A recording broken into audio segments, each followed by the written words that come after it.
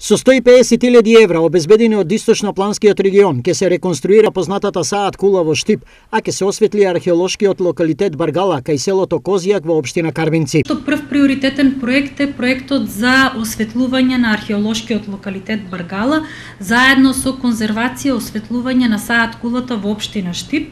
Овој проект беше идентификуван идентификуван како приоритетен на форумите, станува збор за побарани средства од 10,5 милиона денари.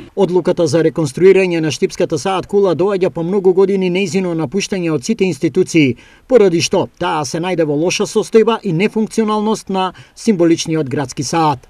Апсолутно, значи Обштина Штип заедно со директорот на, на музеот и заштита на културно-метничките вредности на нашата општина, а, се вредни да се зажува. Саат кулата ја паметиме сите да ние кога деца сме ги чекале камбаната да чука по соодветен број на пати колку што е часот и тоа беше една традиција и една една, една да речеме, едно наследство на сите штипини, да ја слушаме и да го знаеме да си ги местиме часовниците според заат кулата, така да оваа традиција ќе продолжи во, во брзо време.